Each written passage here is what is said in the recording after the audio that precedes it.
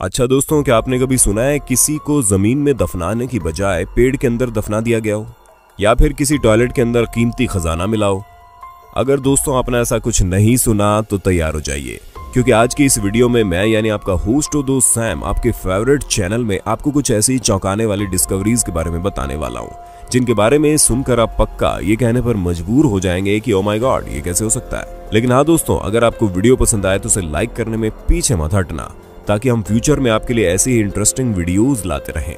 The tree corpus दोस्तों, चाहे आप दुनिया के किसी भी कोने में चले जाइए, या फिर आप किसी भी धर्म के इंसान से क्यों ना पूछ लीजिए। सभी आपको एक ही जवाब देंगे, मृत्यु के बाद शरीर को या तो जला दिया जाता है, या दफना दिया जाता है। लेकिन अब जो हम आपको बताने वाले हैं, उसके बारे में सुनकर कोई भी दंग रह सकता है। क्योंकि दोस्तों, आज से करीब 2200 साल पहले एक महिला की मृत्यु हुई, जिसका शरीर कहीं और नहीं, बल्कि एक पेड़ के अंदर मिला। जी हाँ दोस्तों, आज से 2200 साल पहले मरी महिला का शरीर 2017 में एक पेड़ के अंदर मिला, जिसके साथ ही उसने कई सारे कीमती गहने भी पहन रखे थे। जिसे देखने से ऐसा लग रहा था कि महिला काफ़ी ज़्यादा धनी थी। उसके साथ ही दोस्तों, जब महिला के कंकाल की फोरेंसिक जाँच की गई तो ये पता चला कि उसकी मौत बहुत ज़्यादा मीठा खाने की वजह से हुई। अब ऐसे में सवाल उठता है कि आज से करीब 2200 साल पहले कोई महिला मीठा खाने से मर गई और उसे पेड़ के अंदर दफना दिया गया। ये किसी अजूबे से कम नहीं है। क्योंकि ये दोनों ही बातें चौंकाने वाली है, जिसका अभी तक वैज्ञानिकों को कुछ पता नहीं चला। बाकी आपको पुराने जमाने के लोगों का इस तरह महिलाओं को पेड़ में दफनाने का आइडिया कैसा लगा, हमें बताना कमेंट में। The antique toilet. दोस्तों, वैसे तो इस दुनिया में अगर कोई चीज़ छुपानी हो तो लोग तरह तरह की जगह का इस्तेमाल करते हैं। लेकिन बड़े से बड़ा चोर भी किसी चीज़ को टॉयलेट के अंदर छुपाना पसंद नहीं करेगा। लेकिन दोस्तों, इस यूनिक डिस्कवरी ने हमारी सोच को करारा थप्पड़ मारा। क्योंकि जब घर में टॉयलेट के पाइप में दिक्कत आई तो उस घर के मालिक और उसके बेटे ने टॉयलेट के पाइप को ठीक करने के लिए उसके अंदर जाते गड्ढे में जाकर उसे सही करना शुरू कर दिया। लेकिन उसके बाद उन्होंने जो देखा, उसे देखकर वो पूरी तरह दंग रह गए। क्योंकि जब वो पाइप ठीक कर रहे थे तो पाइप की लीकेज का फ्लो उस घंटे के अंदर जा रहा था। देखने के लिए जब वो लोग उसके अंदर गए तो उन्होंने देखा, वहाँ बहुत ही पुरानी यूनिक चीज़ें रखी हुई है, जो हज़ारों साल पुरानी है। दोस्तों वो आर्कियोलॉजिकल डिस्कवरीज इतनी ज़्यादा तादाद में थी कि घर का मालिक और उसका बेटा उसे देख कर तुरंत मुस्कुराने लगे और फिर इन्होंने गवर्नमेंट को इन्फॉर्म किया, जिसके बाद ही इनके घर में ठीक तरह से आर्कियोलॉजिस्ट ने जाँच की और ये पाया कि इनके घर के टॉयलेट के गड्ढे में मौजूद वो चीज़ें हैं जो बहुत ही ज़्यादा पुरानी और कीमती है, जिसके बाद गवर्नमेंट ने इस खजाने का ज़्यादातर हिस्सा अपने पास रखा, लेकिन उसमें से कुछ हिस्सा इन बाप बेटों को दे दिया और वो कुछ हिस्सा इतना ज़्यादा था कि जिससे वो खुद का म्यूज़ियम खोल सकते थे। प्रिजन कॉइन्स दोस्तों, वैसे तो सबको लगता है कि जेलों में कैदियों के अलावा कुछ नहीं पाया जाता, लेकिन स्पेन में मौजूद एक जेल ने सभी को चौंका कर रख दिया। क्योंकि दोस्तों, जेल में खुदाई के समय वहाँ काम करने वाले लोगों को कुछ ऐसा मिला जिसे देखकर वहाँ मौजूद हर इंसान हक्का बक्का रह गया। क्योंकि जेल में खुदाई करने पर उन्हें सोने के सिक्के मिले और हर सोने के सिक्के में मिडिल ईस्टर्न लैंग्वेज लिखी हुई थी, जिसका अभी तक किसी को पता नहीं चला। ये लैंग्वेज आखिर क्या कहना चाहती है? लेकिन दोस्तों, जब इन सिक्कों की जाँच हुई तो पाया गया, ये सभी सिक्के असली सोने के हैं। अब दोस्तों, जेल के नीचे असली सोने के सिक्के मिले, जिनकी संख्या एक नहीं, बल्कि सात हज़ारों और इसका हाल ही में पता नहीं लगाया जा सकता कि इसे वहाँ रखा किसने। लेकिन अब तो आप समझ ही गए होंगे कि जेल के अंदर सिर्फ़ कैदी नहीं, खजाना भी मिल सकता है। बस, देर तो है उसे ढूँढने की। जैसे कि इस जेल में हुआ। क्यों दोस्तों? सही गाना मैंने। Bird Ferrari.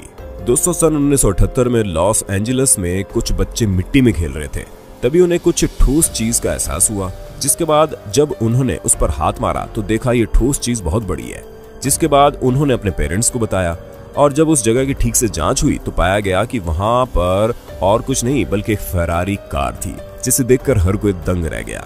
भला फेरारी कार ज़मीन के अंदर कैसे आ गई? और दोस्तों, ये सवाल सबके मन में आ रहा था कि ये कार किसने यहाँ पर लाई होगी? तो दोस्तों, इसके लिए आपको इसके पीछे की कहानी जाननी होगी। क्योंकि सन 1974 में रोसेंडो नाम के एक शख्स ने इस कार को अपनी बीवी को गिफ्ट करने के लिए खरीदा था। और कार खरीदने के दो महीने बाद जब ये लोग बाहर घूमने आए तो इनकी कार चोरी हो गई, जिसके बाद इनकी कार का कुछ पता नहीं चला। फिर उसके चार साल बाद ये कार ज़मीन के अंदर छुपी हुई मिली। ऐसे में दोस्तों, ये बात किसी को नहीं पता चली कि ये कार यहाँ पहुँची कैसे।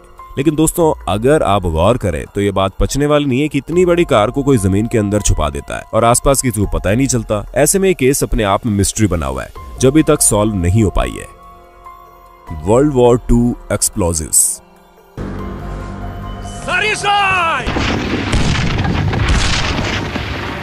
दोस्तों, वैसे तो नदियों में नहाना खतरनाक होता है, लेकिन उसमें तरह तरह के पोल्यूटेड बैग्स और उसके साथ ही कई तरह की खतरनाक चीज़ें मौजूद होती हैं, जो हमें नुकसान पहुँचा देती हैं।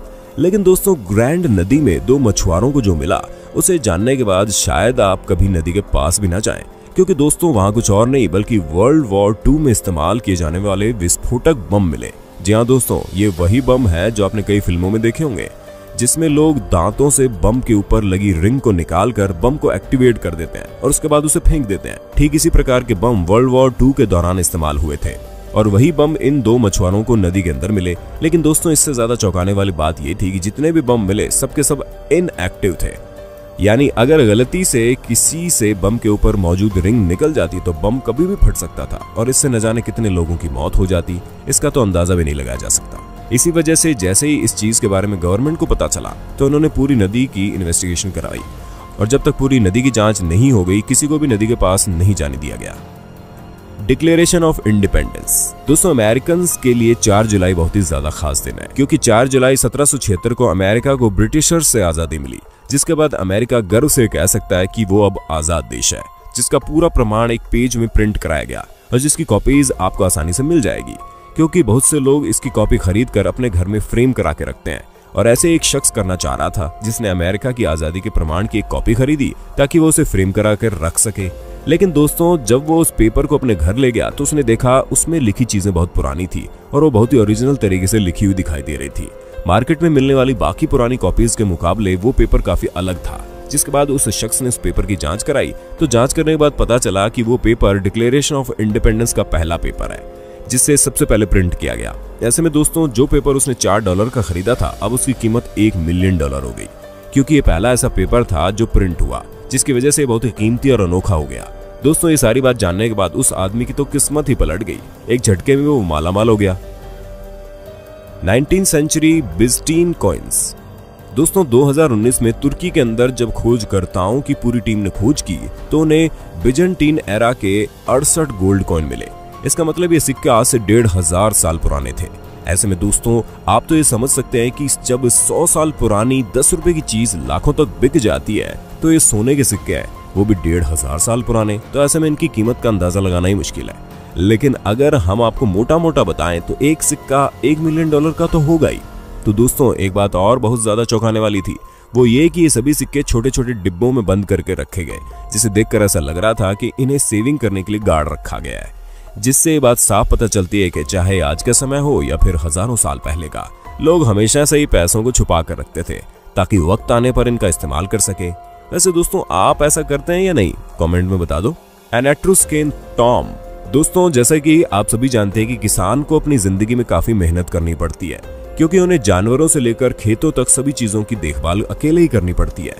और तो और कुछ किसान तो इतना काम करते हैं कि वो एंशियंट सिविलाइजेशन तक की चीज़ों को ढूंढ लेते हैं। जी हाँ दोस्तों, इटली के रहने वाले किसान और उनके पोते ने एशियंट सिविलाइजेशन यानी कि आज से ढाई हज़ार साल पहले बने एक मकबरे को ढूंढ निकाला, जिसके अंदर बहुत ही यूनिक और कीमती चीज़ें मौजूद थी। दोस्तों, उस मकबरे के अंदर आपको बहुत ही सुंदर कलाकृतियाँ बनी हुई दिख जाएँगी, जिसकी खूबसूरती बेहद ही मन मोहने वाली है। ऐसे में ये बात बहुत ही ज़्यादा चौंकाने वाली थी कि इतने सालों पहले लोग इतनी बेहतरीन कलाकारी कैसे कर लेते थे, जो इस बात को भी साबित करती है कि हज़ारों साल पहले भी लोग हम जैसे बुद्धिमान और क्रिएटिव थे। या फिर ये कह लें कि हम में से भी ज़्यादा क्रिएटिव थे। तभी तो बिना कहीं से सीखे इतनी बेहतरीन कलाकृतियाँ और अलग अलग तरह की चीज़ें बना लेते ऐसे में दोस्तों, इतनी कीमती चीज़ मिलने के बाद आप सोच रहे होंगे ना कि उस किसान ने क्या किया होगा। तो दोस्तों, हम आपको बता दें, इटली में ऐसा रूल है कि अगर आपको कोई एंशियंट चीज़ मिलती है तो वो चीज़ आपकी प्रॉपर्टी होगी। लेकिन आपको गवर्नमेंट को बताना ज़रूरी है। लेकिन इस किसान ने कुछ ज़्यादा ही लालच दिखा दिया और गवर्नमेंट को इस बारे में बताया नहीं, जिस वजह से इसने किसी प्राइवेट आर्ट इंस्टीट्यूशन से इस मकबरे में मौजूद चीज़ों की जाँच करवाई, जो कि बेबुनियाद थी, क्योंकि बिना गवर्नमेंट को पता चले कोई भी इन चीज़ों को खरीदेगा ही नहीं, भले ही ये चाहे कितने ही सस्ते में क्यों ना बेच दे। तो दोस्तों, आज के लिए बस इतना ही। वक्त है आपसे अलविदा लेने का। आपको वीडियो कैसी लगी कमेंट में बताना और ऐसे इंटरेस्टिंग वीडियो लगातार देखने के लिए हमारे चैनल को लाइक शेयर सब्सक्राइब कर देना। धन्यवाद।